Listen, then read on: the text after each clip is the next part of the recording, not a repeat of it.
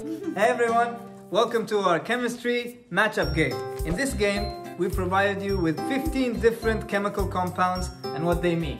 But for each challenge, we're only going to select 7. We have provided a list of 15 different simple compounds and what they mean in the description below.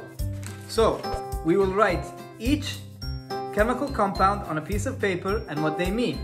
Each contestant will then get a copy of the same paper and will have one minute to memorize the sheet. After each contestant has memorized their page, we will give each of them seven different flashcards. Each flashcard has different chemical components on them that they will match against the items. So we've selected seven different compounds that can be found in seven different household items. So for our choice, we've selected iron that can be found in a pan, fluorine that can be found in toothpaste, aluminium can be found in foil, H2O is water, CO2 which is air, NaCl which is salt, and Ca which is calcium and can be found in milk. The contestants will have 20 seconds to complete this challenge. From the sand dunes of the Sahara, Sarraj. One, two, two and a half,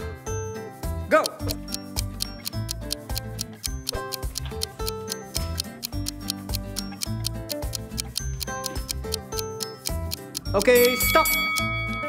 From the Red Sea, Zaidu! Go! Alright, Zaid, stop. Then results are compared. The winner is obviously the winner, victorious. The unfortunate one will then have to race me in a frog jump race. Let's see who does better. Let's go over your results. Amazing job. Good stuff. Let's check your results. If you had switched F with fluorine and H2O with water, you would have gotten a full result, but you did very well. Give me five, my friend. So now you will have to race me in the frog jump race. Are you ready? Yes! Let's go.